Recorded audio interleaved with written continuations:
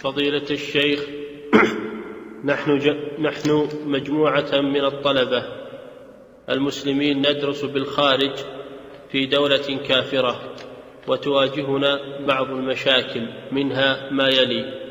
السؤال الأول نحن نصلي الصلوات الخمس في البيوت إلا صلاة الجمعة حيث لا يوجد في المدينة إلا مسجد واحد فهل يجب علينا حضور؟ الصلوات الخمس في المسجد عند الاستطاعة مع العلم بأن المسجد غالبا ما يكون مغلق مع العلم أننا نسكن بعيدا عن المسجد. إذا كان المسجد بعيدا فلا يلزمكم الذهاب إليه لما في ذلك من المشقة. ولكن كونوا لكم مصلى. أنتم ومن حولك من إخوانك طلبة كونوا لكم مصلى. تصلون فيه. وأما الجمعة فتذهبون إلى المسجد وتصلون مع المسلمين. وأما الصلوات الخمس إذا كان المسجد بعيدا عنكم فاتفق أنت ومن حولك من إخوانك وكونوا لكم مصلى إما في بيت أحدكم أو في مكان تستأجرونه أو في أي مكان يتيسر تصلون فيه الصلوات الخمس جماعة. نعم. فضيلة الشيخ هل الإقامة في بلد كافر جائزة أم لا؟ وللدراسة أو للعمل؟ مع العلم أن في هذا البلد مسجد يصلى فيه بعض الأوقات. لا تجوز الإقامة في بلاد الكفار إلا للمستضعفين الذين لا يستطيعون الهجرة. قال تعالى إن الذين توفاهم الملائكة ظالمي أنفسهم. قالوا فيم كنتم؟ قالوا كنا مستضعفين في الأرض. قالوا ألم تكن أرض الله واسعة فتهاجروا فيها؟ فأولئك مأواهم جهنم وساءت فأولئك مأواهم جهنم وساءت مصيرا إلا المستضعفين من الرجال والنساء والولدان لا يستطيعون حيلة ولا يهتدون سبيلا فأولئك عسى الله أن يعفو عنهم. المستضعف الذي لا يقدر على الهجرة يقيم للضرورة ولكن يتمسك بدينه يتمسك بدينه ولا يتساهل فيه. هذه واحدة. الثانية يجوز تجوز الإقامة للتعلم. إذا كان هذا التعلم يحتاج إليه الإنسان أو يحتاج إليه المجتمع ولا يوجد إلا في بلاد الكفر فيجوز أنه يقيم بقدر ما يتعلم هذا هذا التخصص طب أو غيره ثم يرجع إلى بلده. يقيم بقدر الحاجة فقط. ثالثا إذا كان إقامته في بلاد الكفار لأجل الدعوة إلى الله وإرشاد المسلمين الذين هناك دعوة الكفار إلى الإسلام فيجوز الإقامة من أجل الدعوة. إلى الله عز وجل. هذه الأحوال تجوز الإقامة فيها إما للضرورة أو للحاجة. نعم. السؤال الثالث كيف كيف يجب أن تكون أن تكون علاقتنا مع الكفار؟ علاقة المعاملة الدنيوية بالبيع والشراء والمجاورة أحكام الجوار الإحسان إلى الجيران. هذا مما يأمر به الإسلام. ما يأمر به الإسلام. أو يبيحه الإسلام. يبيح البيع والشراء مع الكفار في الأمور المباحة.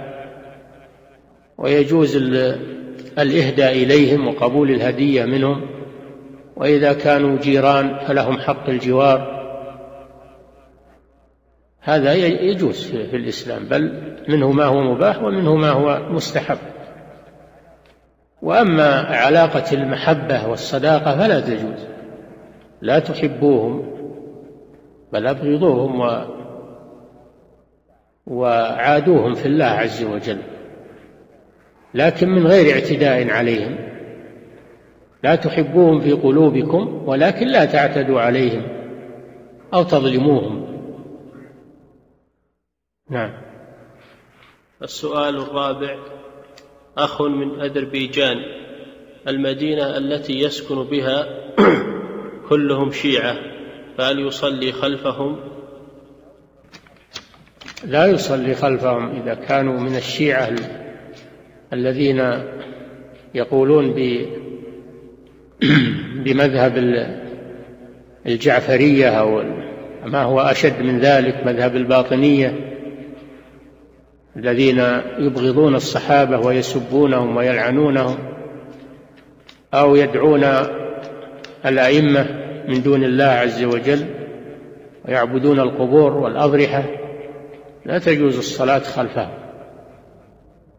فلا تصلوا خلف الشيعة.